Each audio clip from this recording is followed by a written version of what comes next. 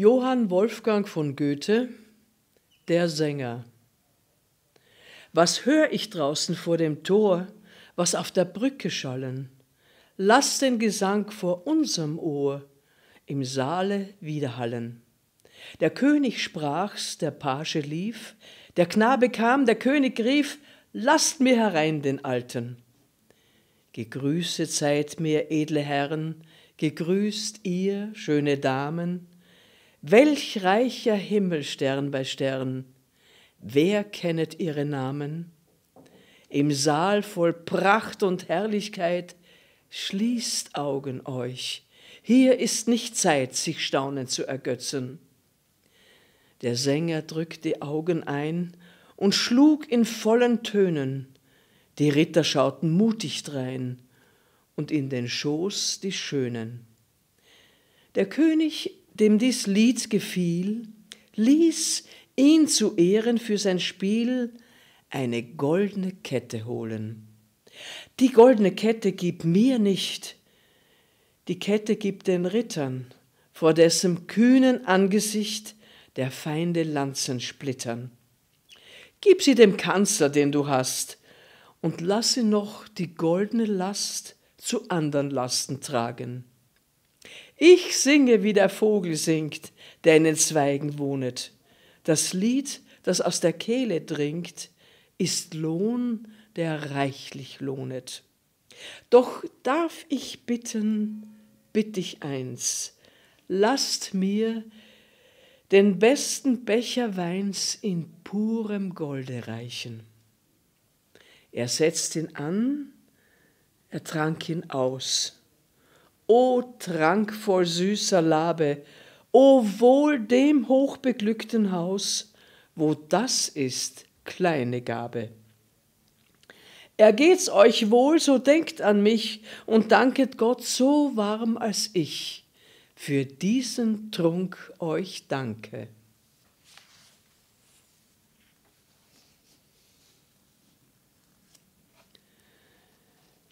Friedrich von Ebert, Frau Hitt.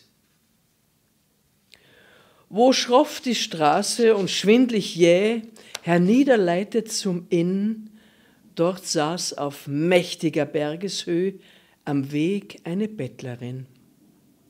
Ein nacktes Kindlein lag ihr im Arm und schlummert in süßer Ruh.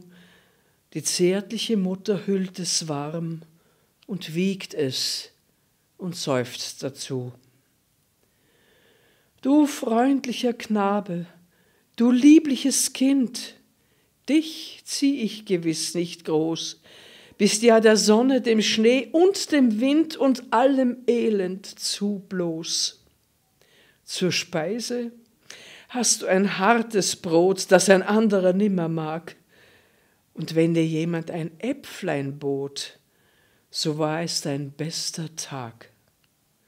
Und blick doch, du Armer, dein Auge so hold, wie des Junkers Auge so klar, und ist doch dein Haar so reines Gold wie des reichsten Knaben Haar.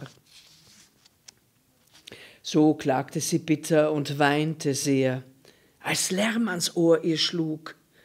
Mit Jauchzen trabte die Straße einher ein glänzender Reiterzug.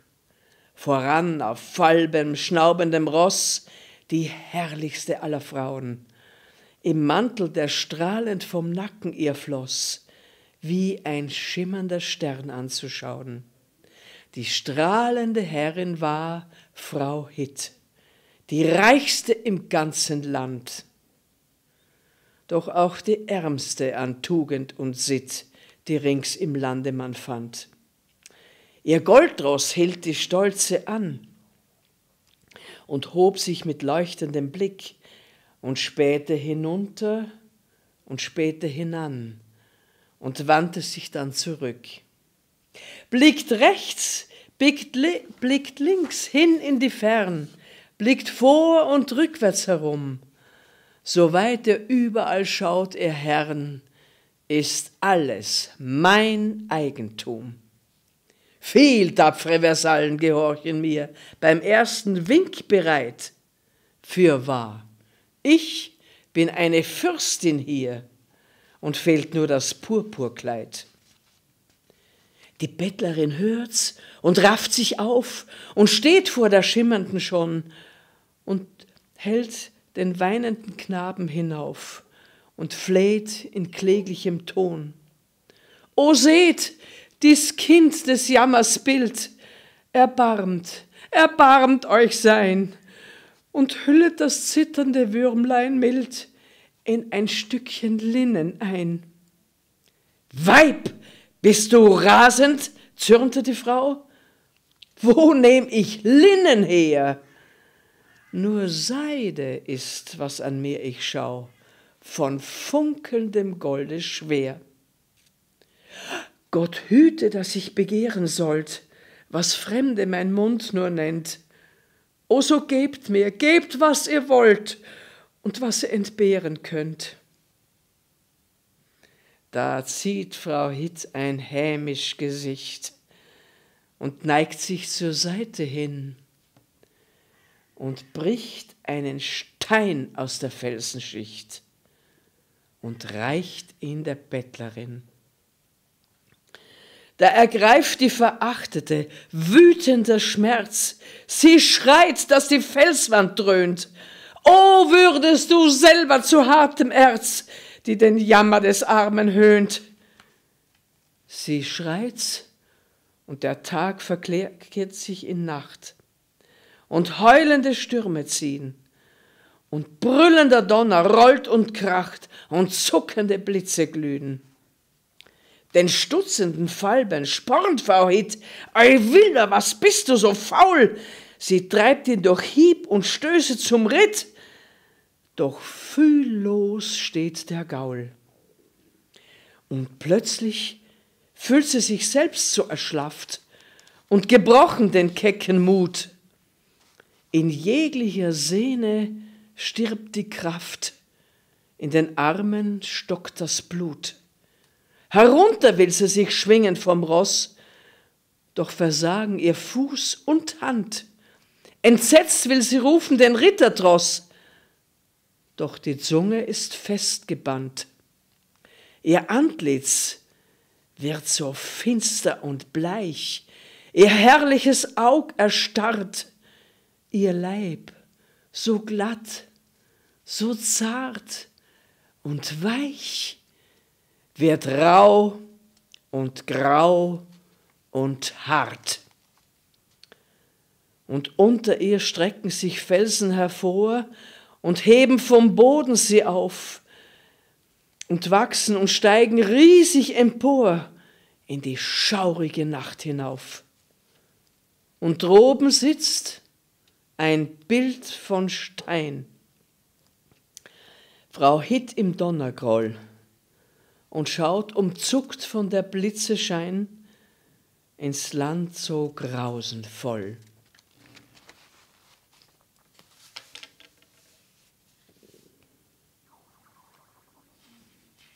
Justinus Kerner, der Geiger zu Gmünd. Einst ein Kirchlein sondergleichen, noch ein Stein steht von ihm da, baute Gmünd der Sangesreichen der heiligen Cecilia. Lilien von Silber glänzten ob der heiligen Monden klar, hell wie Morgenrot begrenzten goldene Rosen den Altar, Schuh aus reinem Gold geschlagen und von Silber hell ein Kleid hat die Heilige getragen, denn da war's noch gute Zeit. Zeit, wo überm fernen Meere, nicht nur in der Heimatland, man der Gmünschen Künstler Ehre hell in Gold und Silber fand und der fremden Pilger wallten zu Cecilias Kirchlein viel, ungesehen woher erschallten drin Gesang und Orgelspiel. Einst ein Geiger kam gegangen, ach, den plagte arge Not, matte Beine, bleiche Wangen und im Sack kein Geld, kein Brot. Vor dem Bild hat er gesungen, und gespielet all sein Leid, hat der heiligen Herz durchdrungen, horcht, melodisch rauscht ihr Kleid, lächelnd bückt das Bild sich nieder aus der lebenlosen Ruh, wirft dem armen Sohn der Lieder hin den rechten goldenen Schuh. Nach des nächsten Goldschmidts Hause eilt er, ganz vom Glück berauscht, singt und träumt vom besten Schmause, wenn er Schuh um Geld vertauscht. Aber kaum den Schuh ersehen, führt der Goldschmied rauen Ton und zum Richter wird mit Schmähen wild geschleppt des Liedes Sohn. Bald ist der Prozess geschlichtet, allen ist es offenbar, dass das Wunder nur erdichtet, er der frechste Räuber war. Weh, du armer Sohn der Lieder, sangest wohl den letzten Sang, auf dem Galgen auf und nieder sollst ein Vogel fliegen bang. Hell ein Glöcklein hört man schallen, und man sieht den schwarzen Zug mit dir zu der Stätte fallen, wo beginnen soll dein Flug. Bußgesänge hört man singen, Nonnen und der Mönche Chor, aber hell hört man auch dringen Geigentöne draus hervor. Seine Geige mitzuführen, war des Geigers letzte Bitt. Wo so viele musizieren, musiziere ich Geiger mit. An Cecilias Kapelle jetzt der Zug vorüberkam, nach des offenen Kirchleins Schwelle geigt er recht in tiefem Gram. Und wer kurz ihn noch gehasset, seufzt, ach, das arme Geigerlein. Eins noch bitt ich, singt er, lasset mich zu Heiligen noch einmal rein. Man gewährt ihm vor dem Bilde geigt er abermals sein Lied und er rührt die Himmelsmilde. Horch, methodisch laust ihr Kleid. Lächelnd bückt das Bild sich nieder aus der lebenlosen Ruh, wirft dem armen Sohn der Lieder hin den zweiten goldenen Schuh.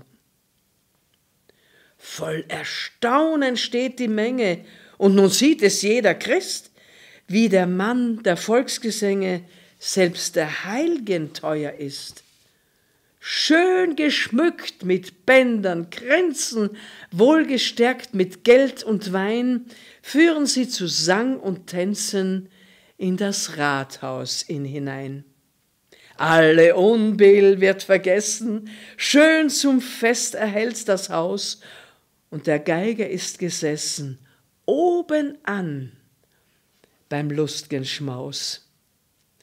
Aber als sie alle voll vom Weine, nimmt er seine Schuh zur Hand, wandert so im Mondenscheine lustig in ein anderes Land.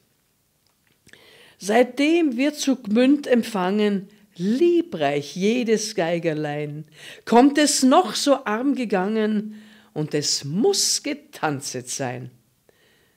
Darum hört man Geigen, singen, tanzen dort ohn Unterlass.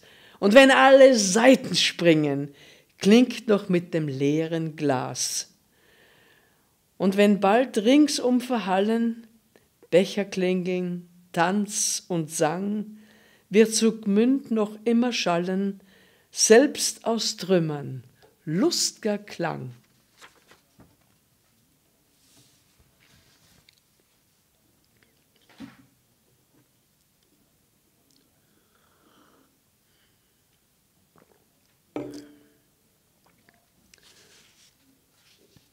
Gustav Schwab Das Gewitter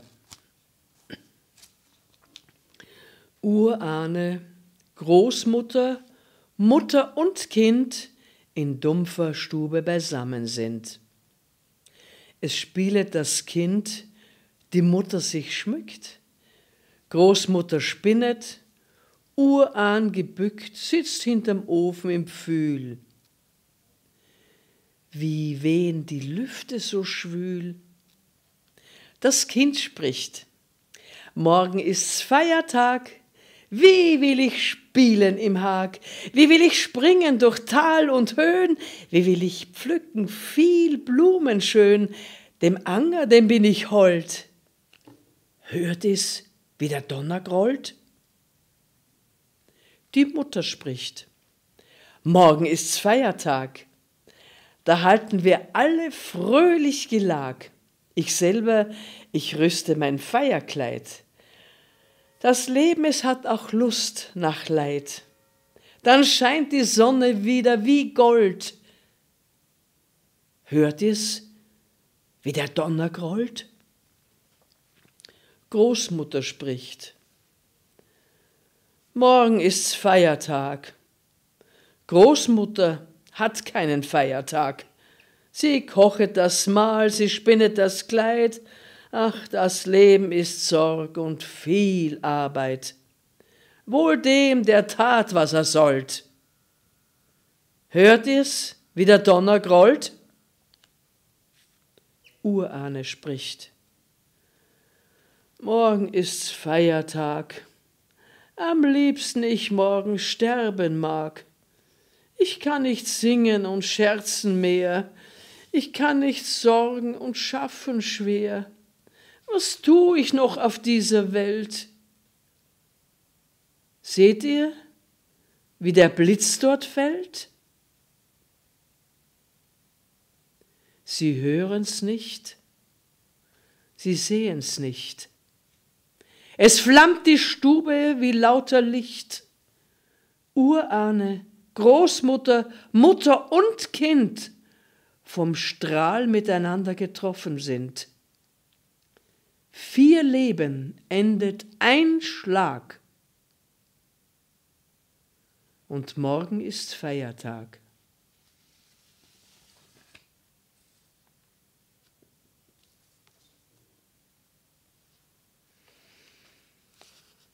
Friedrich Schiller Der Taucher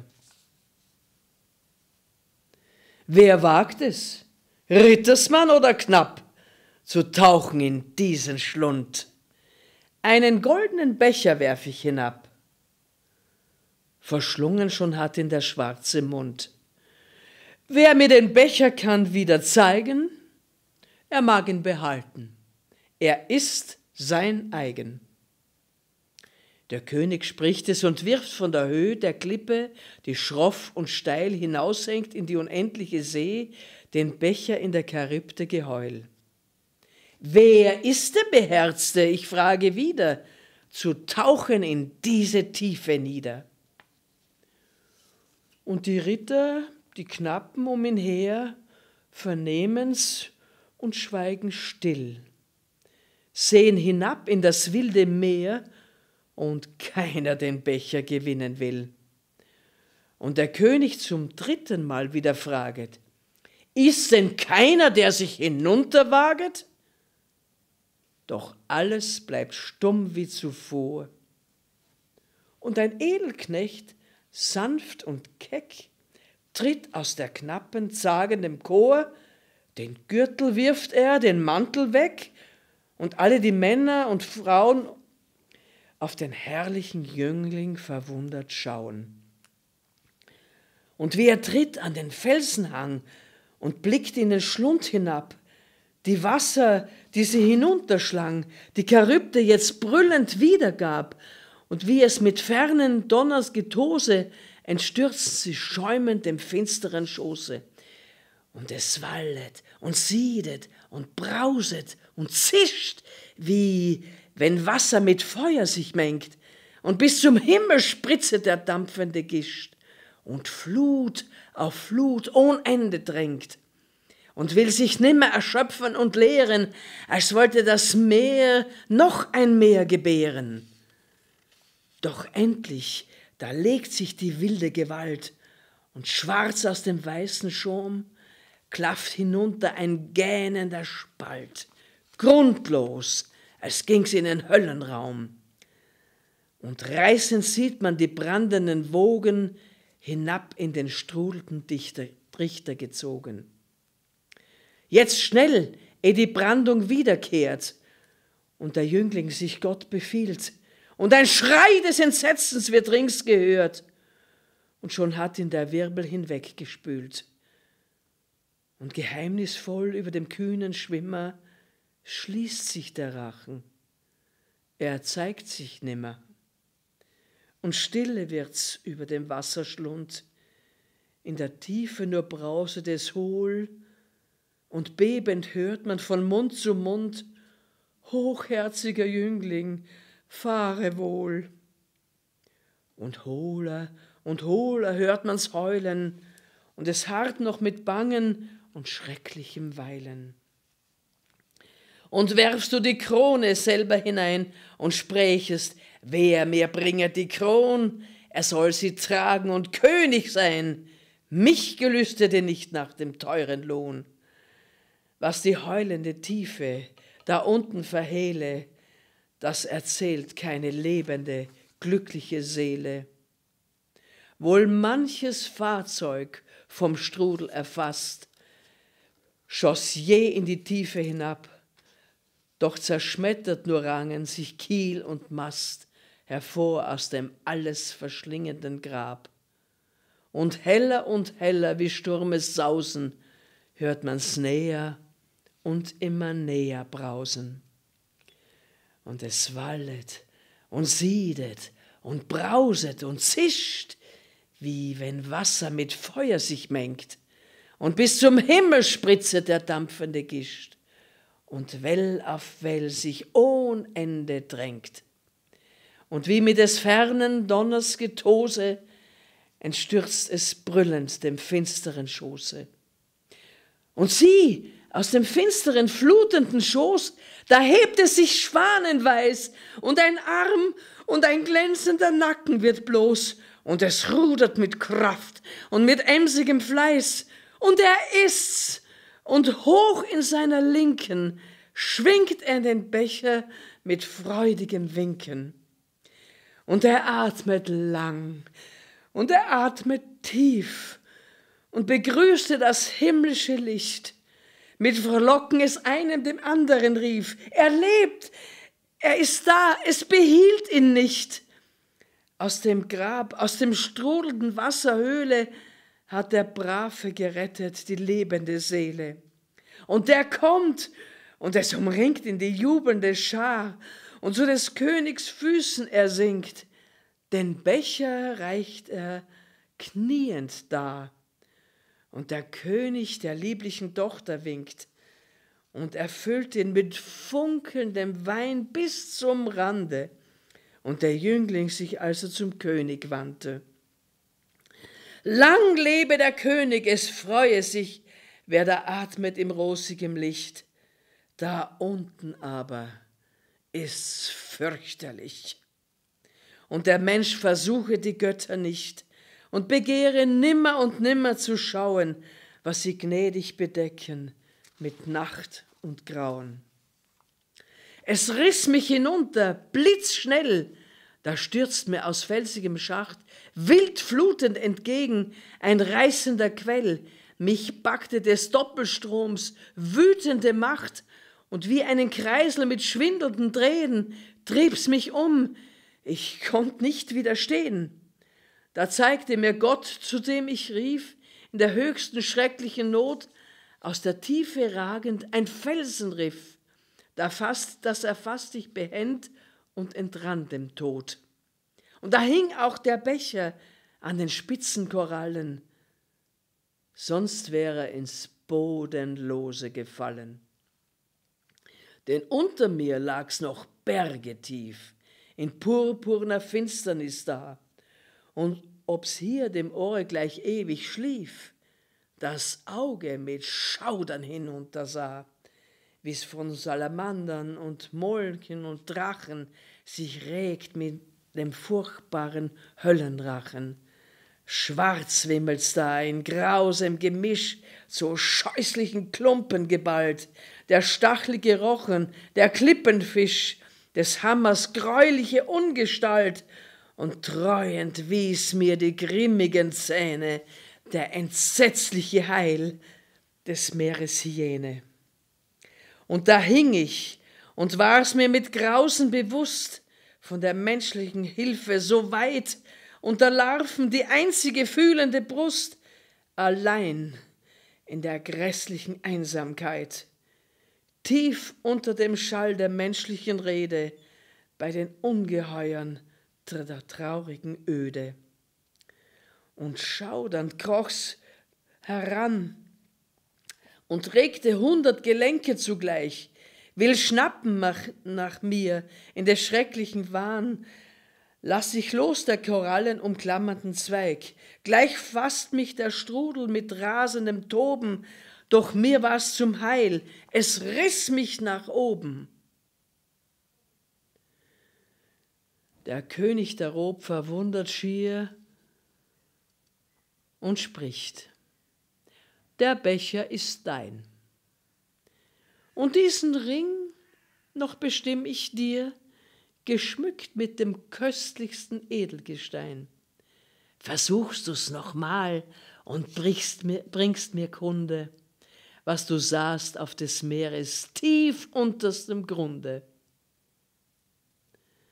Das hörte die Tochter mit leichem Gefühl, und mit schmeichelndem Munde sie fleht, Lasst Vater genug sein, das grausame Spiel, er hat euch bestanden, was keiner besteht.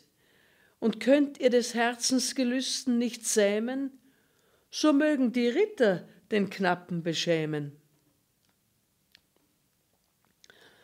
Darauf der König greift nach dem Becher schnell, in den Strudel schleudert hinein. Und schaffst du den Becher mir wiederzustell, so sollst du der trefflichste Ritter mir sein und sollst sie als Ehegemahl und sollst sie als Ehegemahl heut noch umarmen, die jetzt für dich bittet mit zartem Erbarmen. Da ergreift's ihm die Seele mit Himmelsgewalt und es blitzt aus den Augen im Kühn und er sieht sie erröten, die schöne Gestalt, und sieht sie erbleichen und sinken hin. Da treibt's ihn, den köstlichen Preis zu erwerben, und stürzt hinunter auf Leben und Sterben.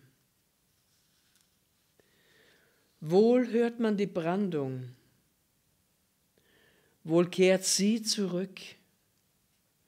Sie verkündigt der donnernde Schall da bückt sich's hinunter mit liebendem Blick. Es kommen, es kommen die Wasser all, sie rauschen herauf und sie rauschen nieder. Den Jüngling bringt keines wieder. Friedrich Schiller, die Bürgschaft. Zu Dionys, dem Tyrannen, schlich Möros den Dolch im Gewande. Ihn schlugen die Häscher in Bande. Was wolltest du mit dem Dolche? Sprich, entgegnet ihm finster der Wüterich. Die Stadt vom Tyrannen befreien. Das sollst du am Kreuze bereuen. Ich bin, spricht jener, zu sterben bereit und bitte nicht um mein Leben. Doch willst du Gnade mir geben, ich flehe dich um drei Tage Zeit, bis sich die Schwester dem Gatten gefreit. Ich lasse den Freund dir als bürgen, ihn magst du, entdrinn ich, erwürgen. Da lächelt der König mit arger List und spricht nach kurzem Bedenken. Drei Tage will ich dir schenken, doch wisse, wenn sie verstrichen die Frist, ehe du zurück mir gegeben bist, so muss er statt deiner erblassen. Doch dir ist die Strafe erlassen. Und er kommt zum Freunde.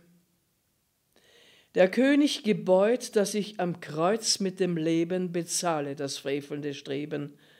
Doch will er mir gönnen drei Tage Zeit, bis sich die Schwester dem Gatten gefreit. So bleib du dem König zum Pfande, bis ich komme zu lösen die Bande. Und schweigend umarmt ihn der treue Freund und liefert sich aus dem Tyrannen. Der andere ziehet von dannen. Und ehe das dritte Morgenrot scheint, hat er schnell dem Gatten die Schwester vereint, eilt heim mit sorgender Seele, damit er die Frist nicht verfehle.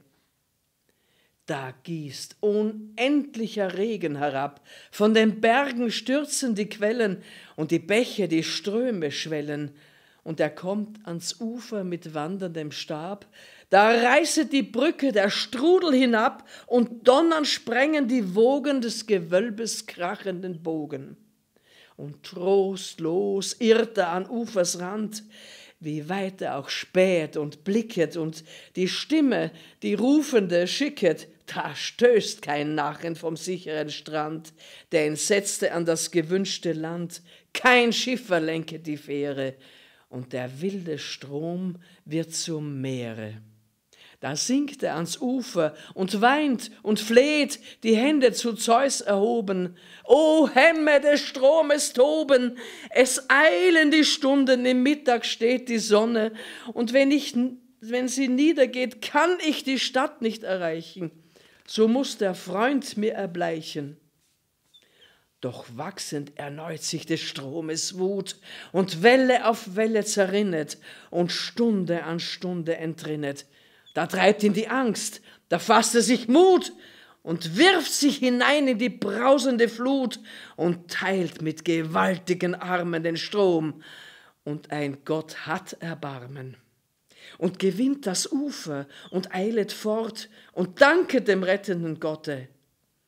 Da stürzet die raubende Rotte hervor aus des Waldes nächtlichem Ort, den Pfad ihm sperrend und schnaubet Mord und hemmet des Wanderers Eile mit drohend geschwungener Keule. Was wollt ihr? ruft er vor Schrecken bleich. Ich habe nichts als mein Leben, und das muss ich dem Könige geben, und entreißt die Keule dem Nächsten gleich. Um des Freundes willen erbarmet euch. Und drei mit gewaltigen Streichen erlegt er, die anderen entweichen.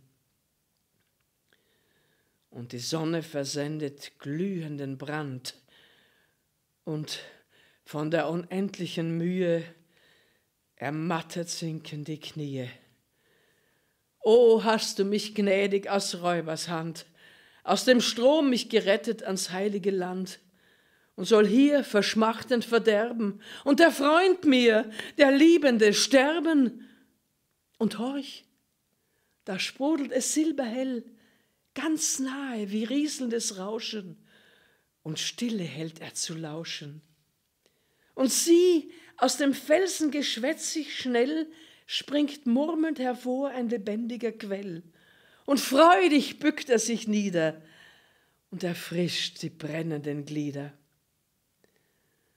Und die Sonne blickt durch die Zweige grün und malt auf den glänzenden Matten der Bäume gigantische Schatten. Und zwei Wanderer sieht er die Straße ziehen, will eilendes Laufes vorüberfliehen, da hört er die Worte sie sagen, jetzt wird er ans Kreuz geschlagen. Und die Angst beflügelt den eilenden Fuß, ihn jagen der Sorge Qualen.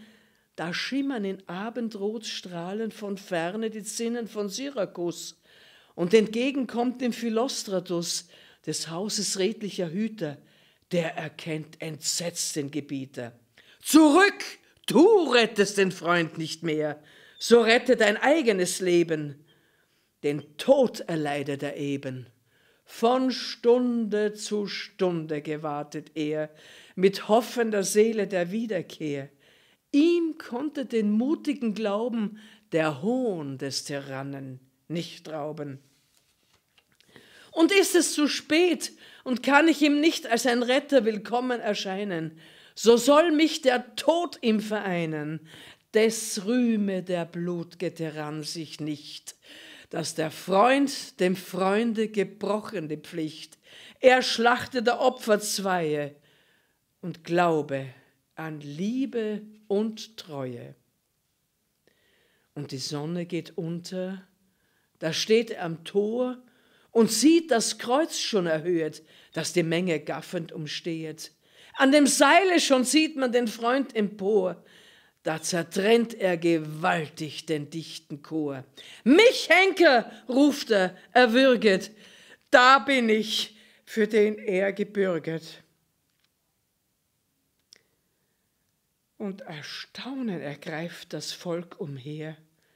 In den Armen liegen sich beide und weinen vor Schmerzen und Freude. Da sieht man kein Auge Tränen leer. Und zum Könige bringt man die Wunder mehr. Der fühlt ein menschliches Rühren und lässt schnell vor den Thron sie führen und blicket sie lange verwundert an. Darauf spricht er, es ist euch gelungen. Ihr habt das Herz mir bezwungen und die Treue ist doch kein leerer Wahn. So nehmt auch mich zum Genossen an. Ich sei, gewährt mir die Bitte, in eurem Bunde der Dritte.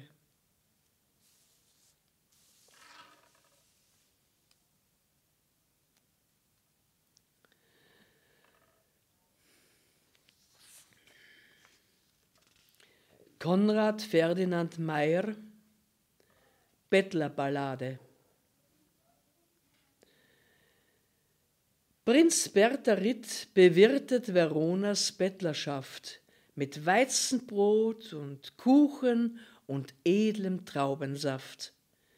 Gebeten ist ein jeder, der sich mit Lumpen deckt, der, heischend auf den Brücken der Etsch, die Rechte reckt.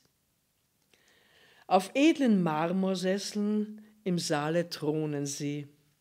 Durch Riss und Löcher gucken Ellenbogen, Zeh und Knie.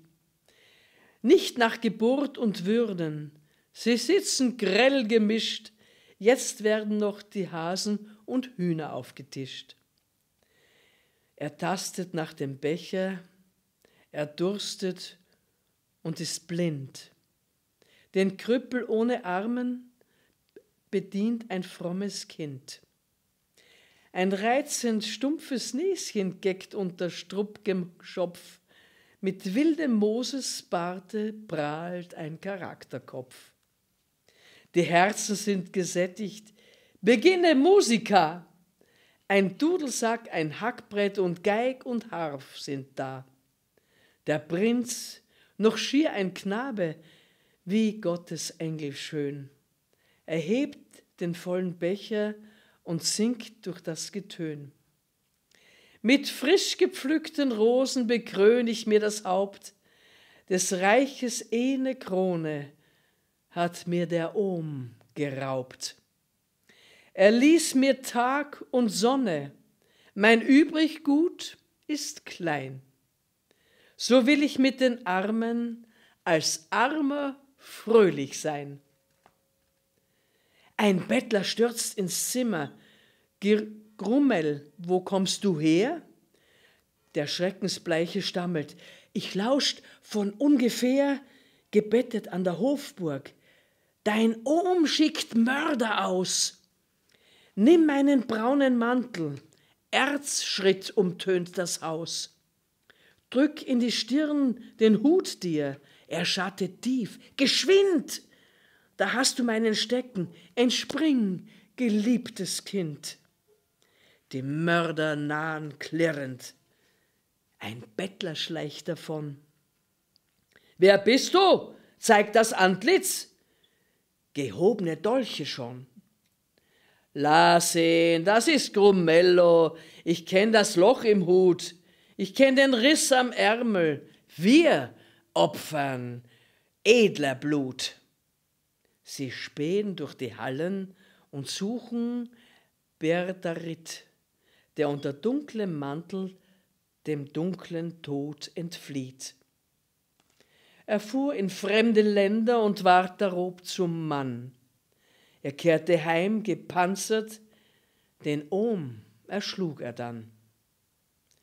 Verona nahm er stürmend Verona nahm er stürmend in rotem Feuerschein. Am Abend lud der König Veronas Bettler ein.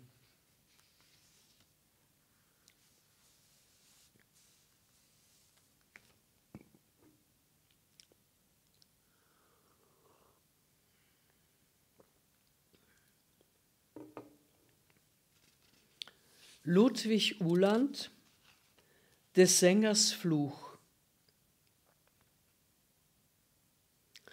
Es stand in alten Zeiten ein Schloss so hoch und hehr, weit glänzt es über Lande bis an das blaue Meer, und rings von Duft gegärten ein blütenreicher Kranz, drin sprangen frische Brunnen im Regenbogenglanz. Dort saß ein stolzer König, an Land und Siegen reich. Er saß auf seinem Throne, so finster und so bleich. Denn was er sinnt, ist Schrecken, und was er blickt, ist Wut, und was er spricht, ist Geißel, und was er schreibt, ist Blut. Einst zog nach diesem Schlosse ein edles Sängerpaar, der ein in goldenen Locken, der andere grau von Haar. Der Alte mit der Harfe, der saß auf schmuckem Ross. Es schritt ihm frisch zur Seite der blühende Genoss. Der Alte sprach zum Jungen, Nun sei bereit, mein Sohn, denk unsere tiefsten Lieder, Stimm an den vollsten Ton, nimm alle Kraft zusammen, die Lust und auch den Schmerz. Es gilt uns heut zu rühren des Königs steinern Herz. Schon stehen die beiden Sänger im hohen Säulensaal, und auf dem Throne sitzen der König und sein Gemahl. Der König furchtbar prächtig, wie blutger Nordlichtschein, die Königin süß und milde, als blickte Vollmond drein. Da schlug der Greis die Saiten, er schlug sie wundervoll, das Reiche, immer reicher, der Klang zum Ohre schwoll. Dann strömte himmlisch helle des Jünglings Stimme vor, des Alten Sang dazwischen, wie dumpfer Geisterchor.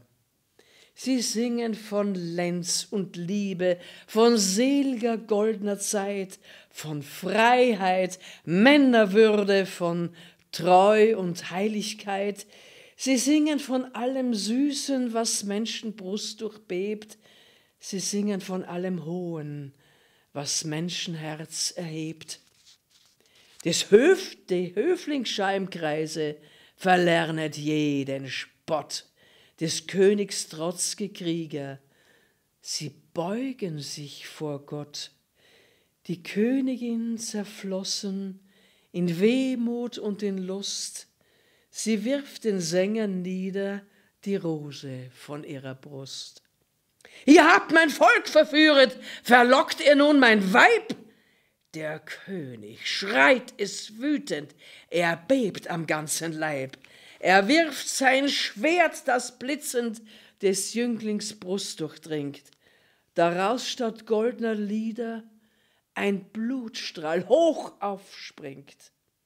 Und wie vom Sturm zerstoben ist all der höherer Schwarm, der Jüngling hat verröchelt in seines Meisters Arm der schlägt um ihn den Mantel und setzt ihn auf das Ross. Er bindt ihn aufrecht feste, verlässt mit ihm das Schloss. Doch vor dem hohen Tore, da hält der Sängerkreis, da fasst er seine Harfe, sie, aller Harfen Preis, an einer Marmorsäule, da hat er sie zerschellt dann ruft er, dass er schaurig durch Schloss und Garten gellt. Weh euch, ihr stolzen Hallen! Nie Töne süßer Klang durch eure Räume wieder, nie Seite noch Gesang. Nein, Seufzer nur und Stöhnen und scheuer Sklavenschritt, bis euch zu Schutt und Moder der Rachegeist zertritt. Weh euch hier, duftigen Gärten im holden Maienlicht, euch zeig ich dieses Toten entstelltes Angesicht, dass ihr darob verdorret, dass jede Quell versiegt, dass ihr in künftigen Tagen versteint, verödet liegt.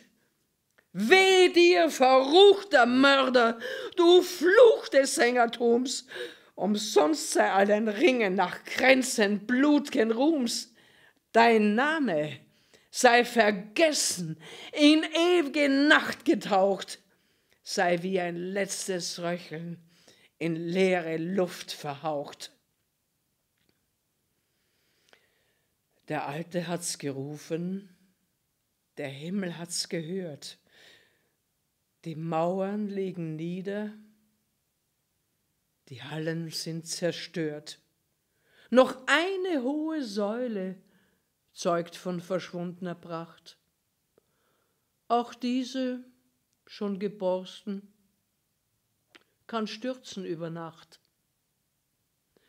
Und rings statt duftger Gärten ein ödes Heideland. Kein Baum verstreuet Schatten, kein Quell durchdringt den Sand. Des Königs Namen meldet kein Lied kein Heldenbuch. Versunken und vergessen, das ist des Sängers Fluch.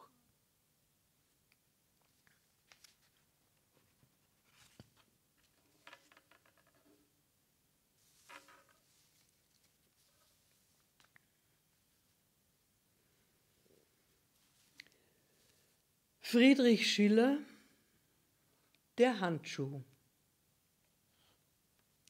vor seinem Löwengarten das Kampfspiel zu erwarten, saß König Franz, und um ihn die Großen der Krone und rings auf hohem Balkone die Damen in schönem Kranz.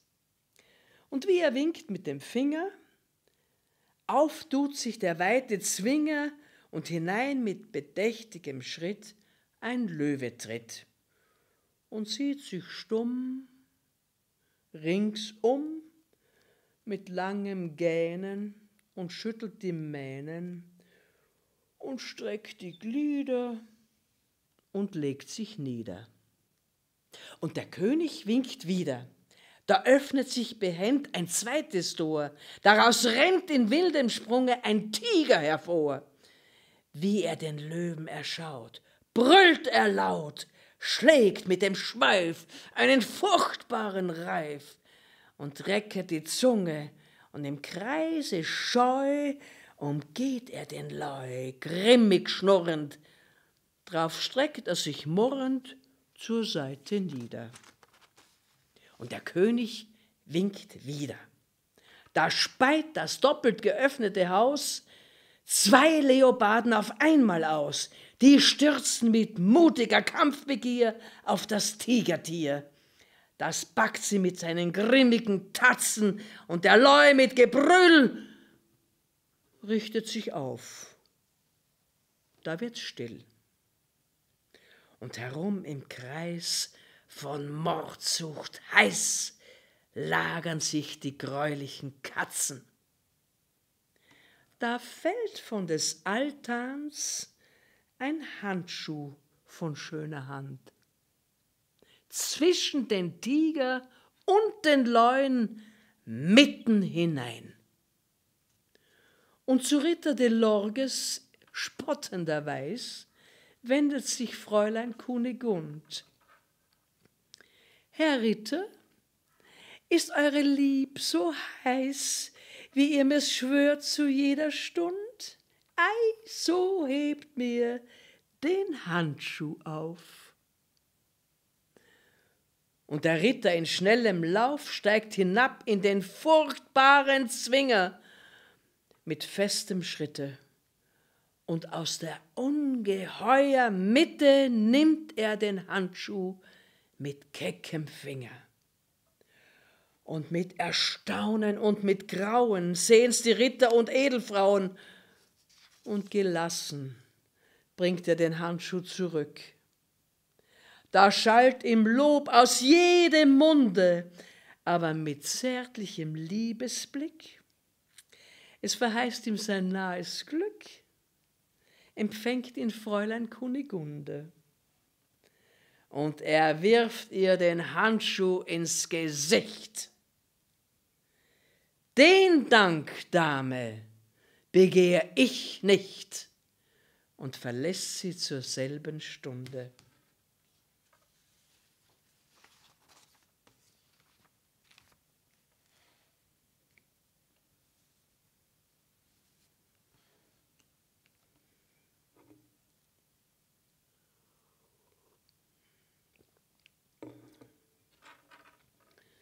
Johann Wolfgang von Goethe, Erlkönig.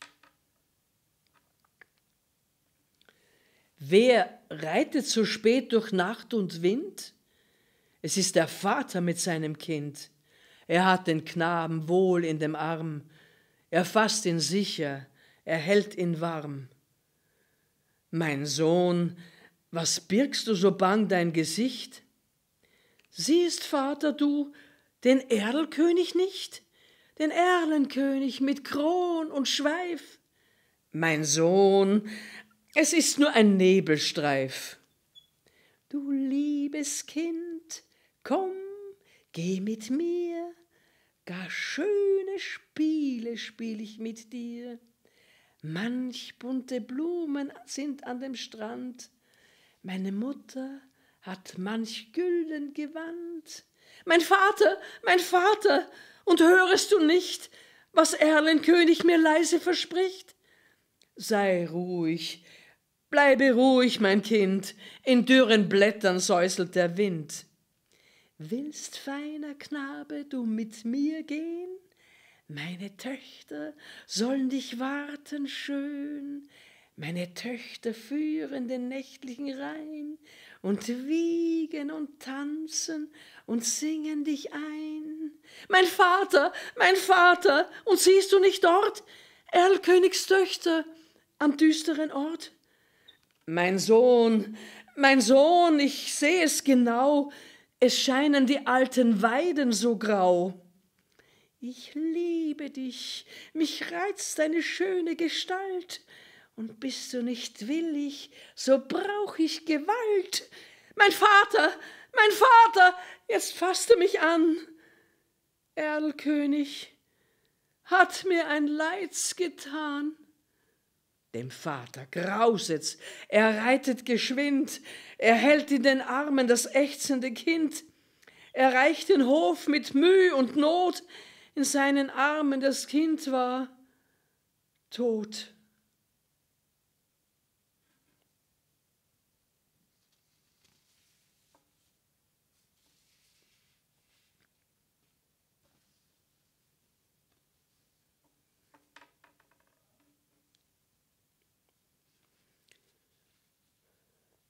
Ludwig Uhland Die Uhr Ich trage, wo ich gehe, stets eine Uhr bei mir. Wie viel es geschlagen habe, genau seh ich's an ihr.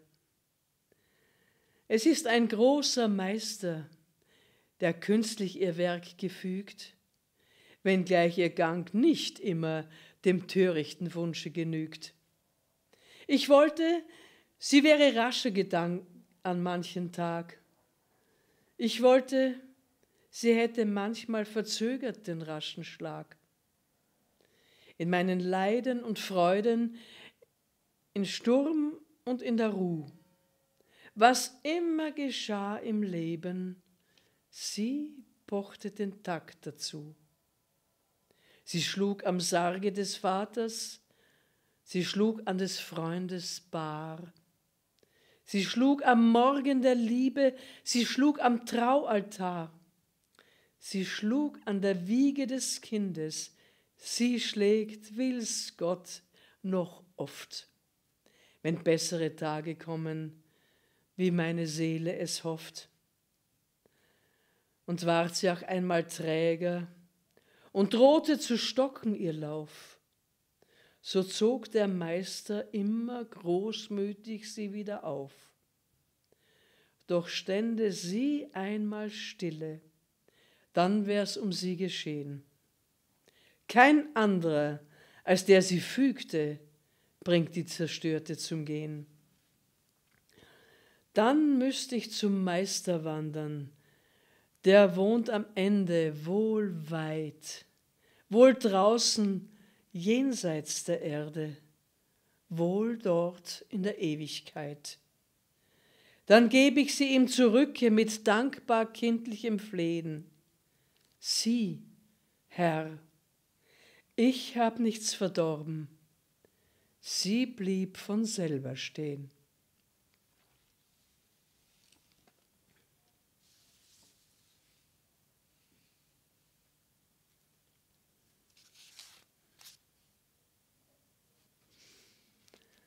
Franz Karl Ginskey Der Teufel und die Bognerin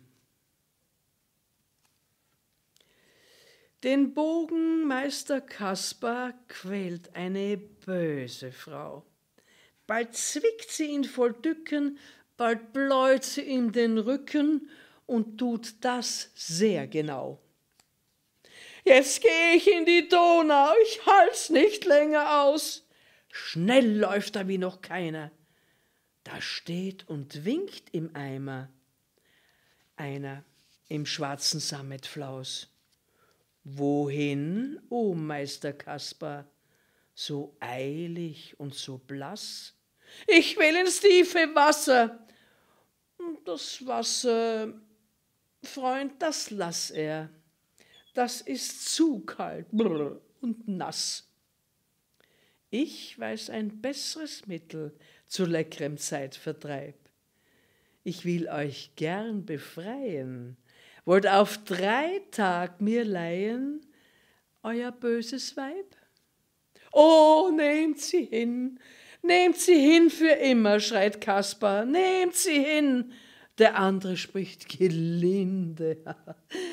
Ihr wisst nicht, wer ich bin und wehrt ihr selbst der Satan und fordert Seel und Leib, will gern mit Haut und Haaren mit euch zur Höllen fahren, nur zähmt mir dieses Weib.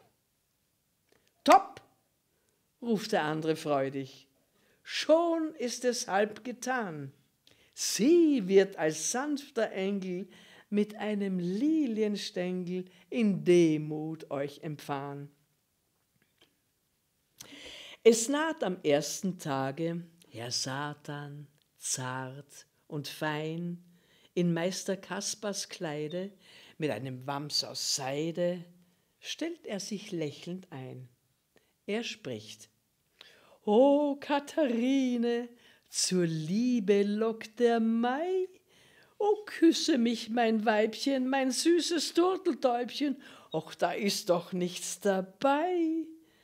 Da braust ihm eine Schelle aufs Ohr mit solcher Macht, dass ihm die Zähne wackeln, aus Mund und Nas wie Fackeln ein Höllenfeuer kracht. Es naht am zweiten Tage, Herr Satan, sacht und schlau er spricht von Glück und Frieden, die nirgends so beschieden als zwischen Mann und Frau. Sie sagt mit holdem Lächeln, da bin ich auch dabei. Schwupp klebt ihm auf dem Kopfe aus siedend heißem Topfe ein glüher Hirsebrei. Da kommt am dritten Tage Herr Satan wie er war, mit wildem Teufelsprunge, Boxhorn und Feuerzunge, geschwärzt an Haut und Haar. Hei, ruft Frau Katharine, nun seh ich, wer du bist. Halt aus Gardinenstange, Kochlöffel, Feuerzange, Gelobt sei Jesus Christ. Anhub, ein wildes Schlachten von solcher Macht und Wut, dass Hieb und Hieb nur flitzte und rings die Wand bespritzte viel rotes Satansblut. Noch stand Frau Katharine mit Amazonenzorn.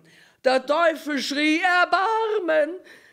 Da haut sie noch dem Armen hohnlachend ab ein Horn. Am Abend spricht Herr Satan zu Kaspar, wund und bleich. Ich kann dir nicht mehr dienen. Behalte Katharinen, dein ist das Himmelreich. Da faltete seine Hände Herr Kaspar blass und stumm. Er fühlt, ihm ist beschieden des Himmels Glanz und Frieden, doch weiß er auch warum. Erst in der Sterbestunde ward er des Lebens froh. Mit lieblichen Gebimmel fuhr seine Seel gen Himmel in dulci jubilo.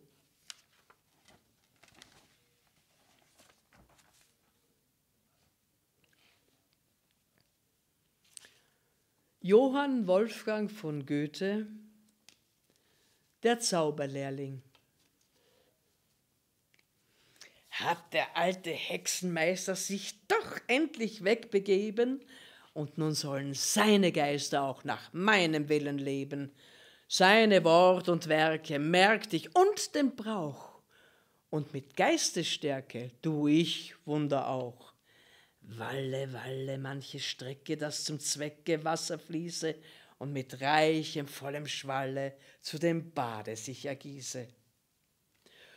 Und nun komm du, alter Besen, nimm die schlechten Lumpenhüllen, bist schon lange Knecht gewesen, nun erfülle meinen Willen. Auf zwei Beinen stehe, obens ein Kopf, eile nun und gehe, mit dem Wassertopf. Walle, walle manche Strecke, dass zum Zwecke Wasser fließe und mit reichem, vollem Schwalle zu dem Bade sich ergieße. Seht, er läuft zum Ufer nieder, wahrlich ist schon an dem Flusse, und mit Blitzeschnelle wieder ist er hier mit raschem Gusse. Schon zum zweiten Male, wie das Becken schwillt, wie sich jede Schale voll mit Wasser füllt. Stehe, stehe, denn wir haben deiner Gaben voll gemessen. Ach, ich merke es, wehe, wehe, hab ich doch das Wort vergessen. Ach, das Wort, worauf am Ende er das wird, was er gewesen. Ach, der läuft und bringt Behände. Wärst du doch der alte Besen. Immer neue Güsse bringt er schnell herein. Ach, und hundert Flüsse stürzen auf mich ein. Nein, nicht länger will ich's fassen. Will ihn fassen, das ist Tücke. Ach, nun wird mir immer bänger. Welche Miene, welche Blicke, Oh, du Ausgeburt der Hölle, soll das ganze Haus ersaufen? Seh ich über jede Schwelle doch schon Wasserströme laufen. Ein verruchter Besen, der nicht hören will. Stock der du gewesen, sei doch wieder still. Willst am Ende gar nicht lassen? Will dich fassen, will dich halten und das alte Holz behende mit dem scharfen Beile spalten. Seht, da kommt er schleppend wieder wie ich mich nur auf dich werfe.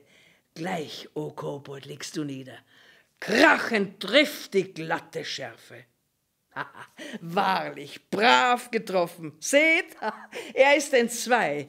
Und nun kann ich hoffen, oh, und ich atme frei.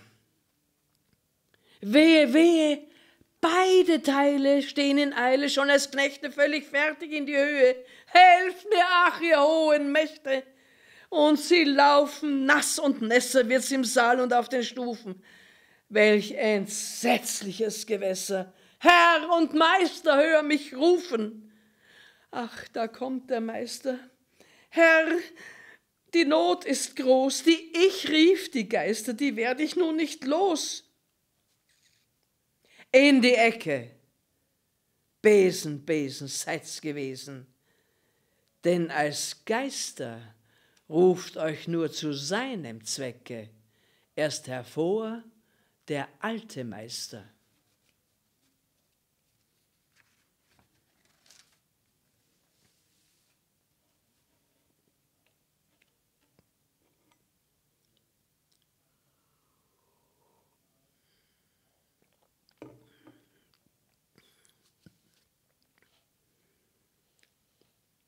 Franz Karl Ginskey, Ballade vom lieben Augustin.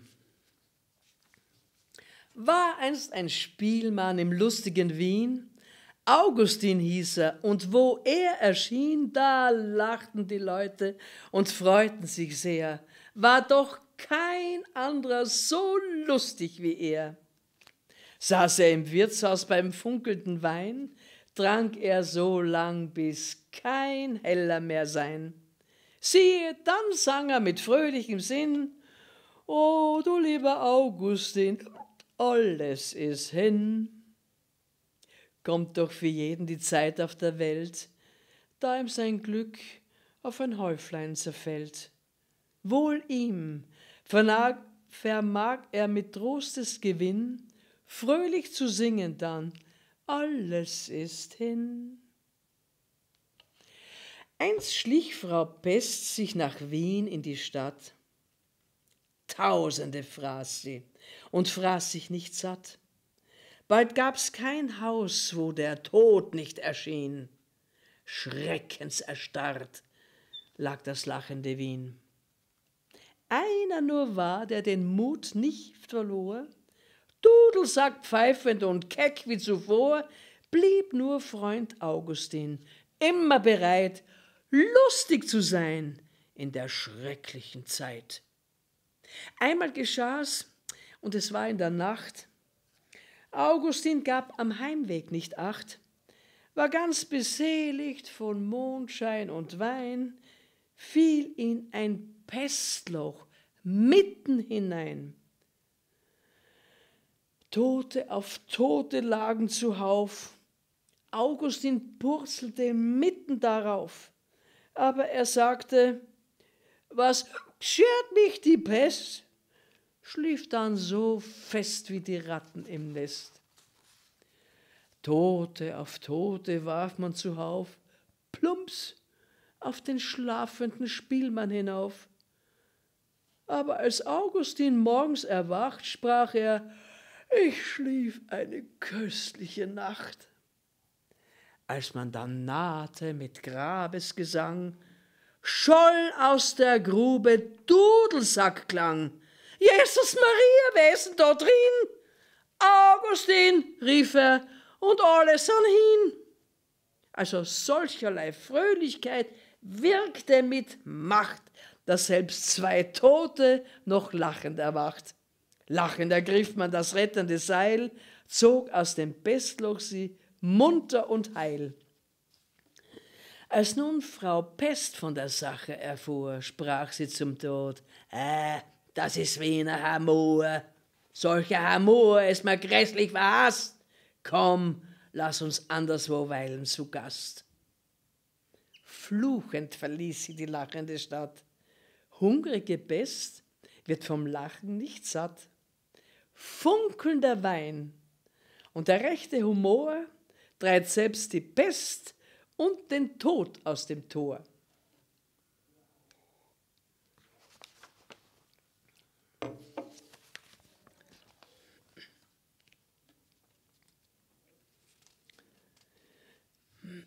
Emanuel Geibel von des Kaisers Bart. Am Schank zur goldenen Traube, da saßen im Monat Mai, verbrüdert in grüner Laube, guter Gesellen drei. Ein frischer Bursch war jeder, der eine am Gurt das Horn, der zweite am Hut die Feder, der dritte mit Koller und Sporn. Es trug in funkelnden Kannen der Wirt den Wein auf den Tisch, lustige Reden sie spannen, und sangen und tranken frisch. Da war auch einer darunter, der grüne Jägersmann. Vom Kaiser Rotbart munter hub er zu reden an. Ich habe den Herrn gesehen am Rebenstabe des Rheins, zur Messe wollt er gehen, wohl in den Dom zu Mainz. Das war ein Bild, der Alte, fürwahr von Kaiserart, bis auf die Brust im Walte der lange braune Bart. Ins Fort fiel ihm der Zweite, der mit der Feder am Hut. Ei, Freund, du bist nicht gescheite, dein Märlein ist nicht gut. Ich habe den Kaiser gesehen, auf dem Harz, am Söller det er stehen. Sein Bart war schwarz, war schwarz. Da fuhr vom Sitz der Dritte, also der mit Koller und Sporn, und in der Zänkermitte rief er mit hellem Zorn. So geht mir doch zur Hölle, ihr Lügner, Glück zur Reis. Ich sah den Kaiser zu Köln, sein Bart war weiß, war weiß. Das gab ein grimmiges Zanken um Weiß und Schwarz und Braun. Es sprangen die Klingen, die Blanken, und wurde scharf gehauen. Verschüttet aus den Kannen floss der viel edle Wein, blutige Tropfen rannen aus leichten Wunden darein. Und als es kam zum Wandern, ging jeder im zornigen Mut, sah keiner mehr nach dem andern und waren sich jüngst so gut. Ihr Brüder, merkt das eine bei dieser schlimmen Fahrt. Zankt, wenn ihr sitzt beim Weine, nicht um des Kaisers Bart. Margaret Fishback Powers Fußspuren im Sand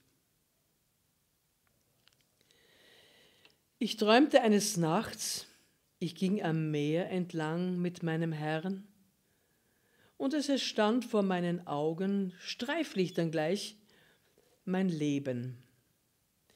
Für jeden Abschnitt, wie mir schien, entdeckte ich je zwei Paar Spuren im Sand. Die einen gehörten mir, die anderen meinem Herrn. Als dann das letzte Bild an uns vorbeigeglitten war, sah ich zurück und stellte fest, dass viele Male nur ein paar Spuren in dem Sand zu sehen waren. Sie zeichneten die Phasen meines Lebens, die mir am schwersten waren. Das machte mich verwirrt und fragend wandte ich mich an den Herrn.